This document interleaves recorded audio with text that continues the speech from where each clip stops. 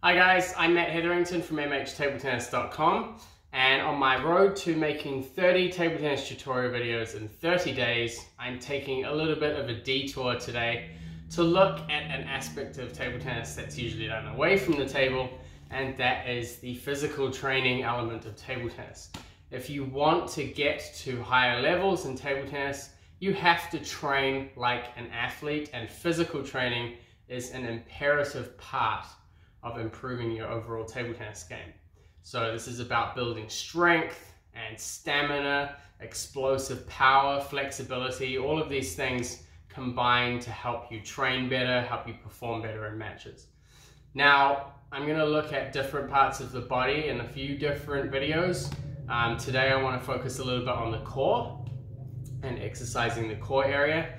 Now, it's important to note these are some ideas about core exercises that you might use. Um, there's some of the ones that I use personally. I'm not a physical trainer. I'm not a personal trainer. I'm not qualified to be telling you what you should do or what you have to do. Um, these are more just some suggestions about different exercises that you can add to your core training regime. Um, so anyway, I'm going to go through what I would do in my core exercise regime and hopefully that'll give you some ideas. But again, um, just here to give some suggestions about what you could include. And certainly not an expert in the area of physical training, um, but I've picked up a few things here and there. So buckle in and we'll go through each exercise and give a brief explanation and then get into it. One of the things that people ask me a lot is whether there are certain exercises that they can do that are table tennis specific. And it's a difficult question to answer because table tennis involves a lot of small mechanics, um, but there are some broader things that you can think about. And one of them is the speed of your core rotation. So being able to activate your core muscles at a very high pace and being able to have that explosive twisting power is really important, especially for topspin situations um, and especially on your forehand side. So one of the exercises that I like doing is to lean back a little bit. You can have your feet off the ground if you want, makes it a little bit harder. And you're going to get some kind of weight where you can just put your hands on the ground and you're going to twist all the way until you feel a pull on this side of your core and then all the way back. And you're gonna count that as one here. And if you can do three sets of 30, or if you're feeling like you need more of a challenge, three sets of 50, and you're trying to do them as quick as you possibly can, really helps to add some weight to it um, so that you're having to really strain and push using your core with some resistance against it. Um, but this is a great exercise for helping with table tennis, having that rotation, um, rotation exercise. I'm gonna go ahead now and I'm gonna do three sets of 30.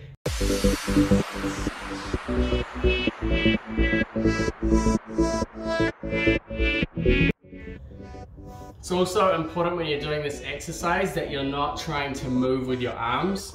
You want to keep your arms fairly stationary. So you're gonna hold whatever weight you have out in front of you and then use your core to turn rather than moving your hands. Okay, so it's very centered and focused on core rotation.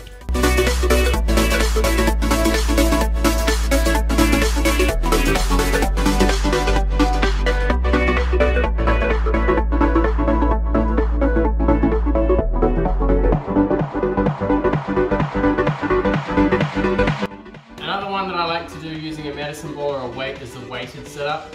So essentially you're gonna do a, start in the sit-up position with your feet slightly apart and you're gonna hold this more above your head and you're gonna use the momentum of throwing without actually throwing. I don't want you guys putting holes in your windows or damaging things, so you're gonna hold on to it, but you're gonna use a kind of throwing momentum to bring the ball or the weight up between your knees.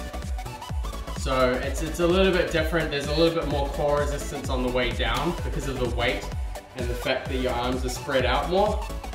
Um, but using the momentum from the weight on the swing forward is kind of like a little bit of an assist for doing sit-ups.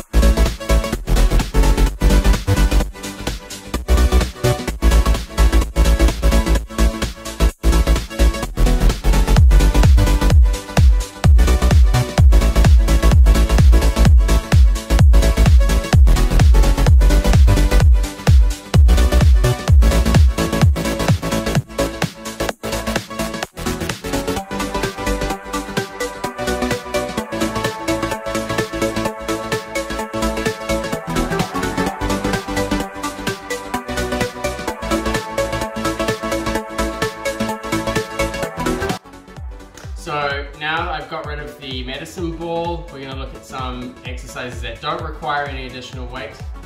And I'm gonna start with the leg raise.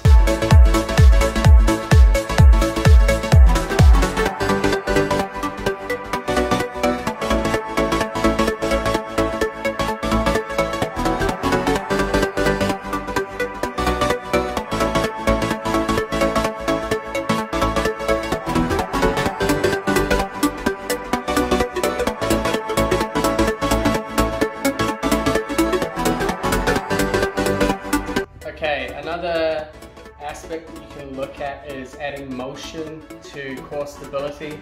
So uh, one of the ones that I like to do regularly, which is a little bit less stress on your body, where you know like sit-ups and things like that are quite intense, um, is doing scissor kicks. So you can do vertical and horizontal scissor kicks. So you're gonna lie on your back, um, put your feet out straight. You're gonna bring your feet up a little.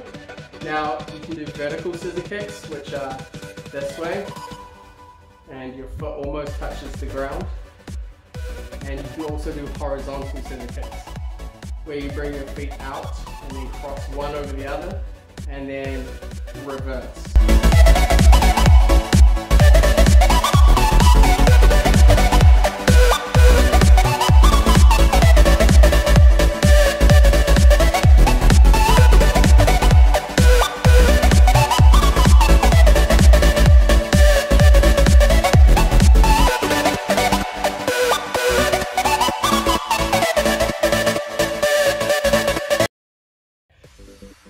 Another good exercise that I like to do is the uh, leg extensions. So you would sit with your knees in closer like this, a little bit closer.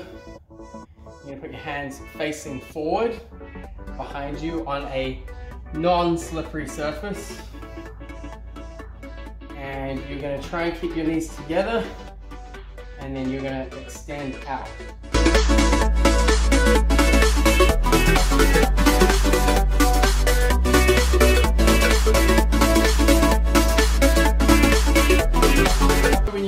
These kinds of exercises, a lot of the time, especially when you're having to extend your legs, you might start to feel some deficiencies in areas that are not stretched properly or haven't been conditioned properly. Like for example, when I'm doing these exercises, a lot of the time I feel a lot of tightness in my hip flexors, um, which is a huge problem for me with my posture and um, I've definitely been trying to do a lot more conditioning and uh, stretching with my hip flexors recently.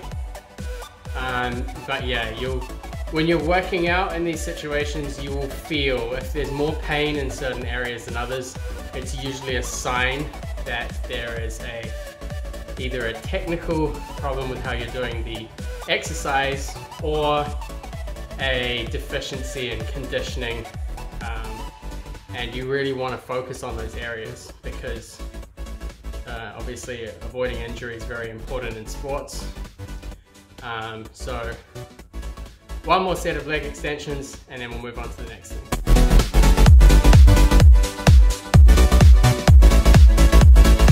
The other thing that you should be adding a little bit of is some core stability uh, exercises and usually people think of planks. You can do four like straight planks, side planks for your obliques. Uh, okay, so you can bring a lot of different adaptations to a regular plank. So you can start off in a prone position and then obviously you can do side planks, which are this way. You can also do extended side planks up on one arm. And you can do uh, transitions between them. So you can do a forward plank and then hold for 30 seconds, and then transition to one side, hold for 30 seconds, transition back to your normal plank, 30 seconds, to the opposite side, 30 seconds, and then back down for 30 seconds more.